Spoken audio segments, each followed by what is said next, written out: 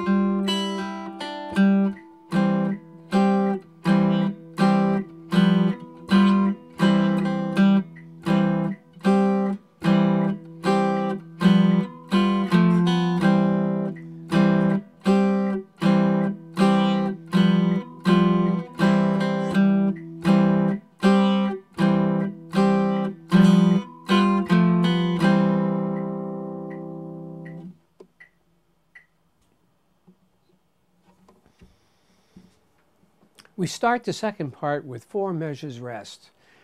And instead of just counting 1, 2, 3, 4, 1, 2, 3, 4, 1, 2, 3, 4, 1, 2, 3, 4, let's count it like this 1, 2, 3, 4, 2, 2, 3, 4, 3, 2, 3, 4, 4, 2, 3, 4.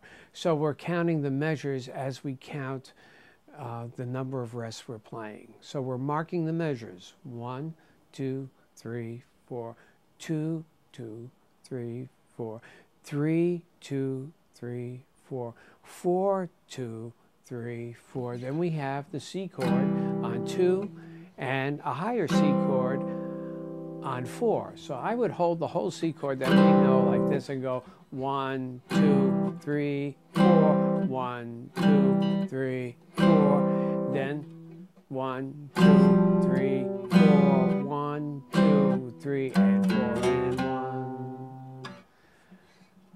Okay, hold that whole C chord and do rest strokes so you're not going like this.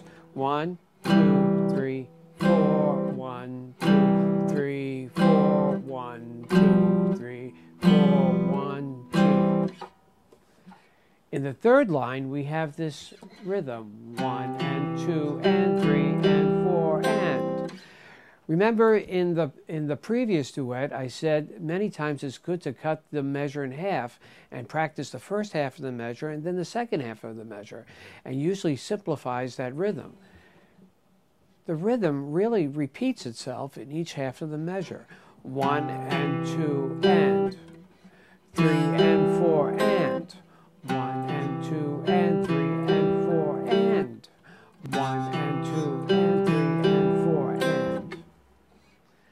other rhythm that's fairly difficult is the one in the last measure of the third line. One and two and three and four and one. One and two and three and four and one. Again, it is the same rhythm repeating itself in each half of the measure. One and two and. Three and four and.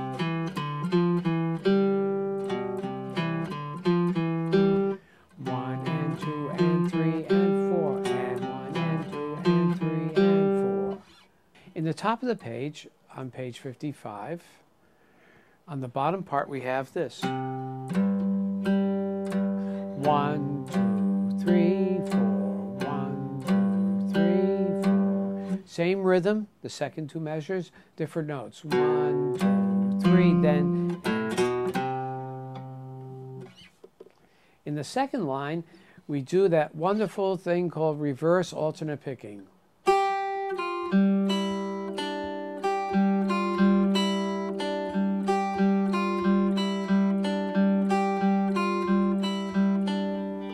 We have a repeat sign for the third measure.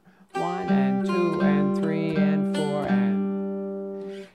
If you notice, we have two repeat signs in two measures. That means that we play this figure three times on that line. And on the next line, to remind you what the figure was, you it shows it, and then we played it another two times. We played a total of six times. So I go one, two to myself, three, four, five, six.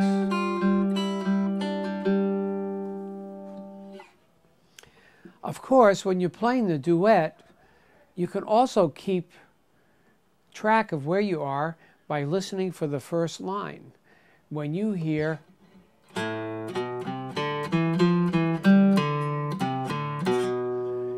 that means that you're playing this phrase two more times. Now the hardest part here includes the last line and the first measure of the line before that. We have this chord and we have this chord. Well, I would just hold the whole thing and get ready for the G. It's really a C chord.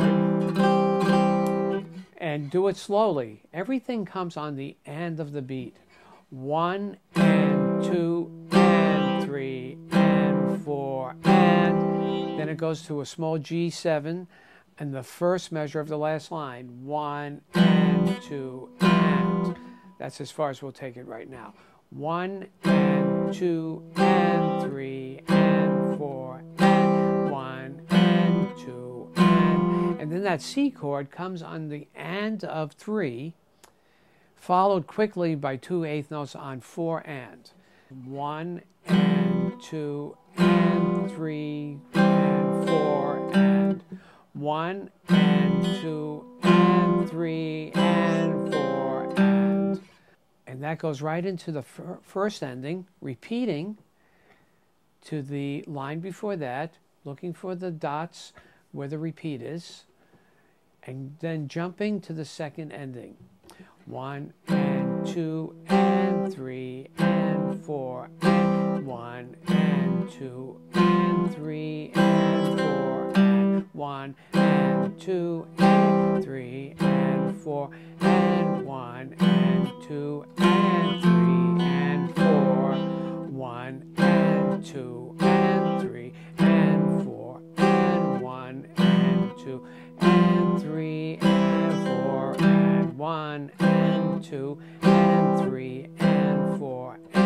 second and two.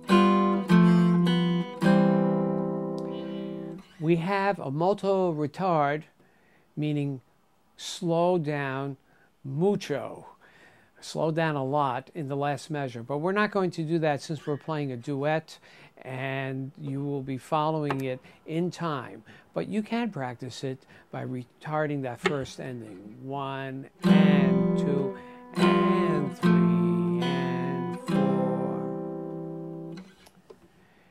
Now it's your turn to play this part.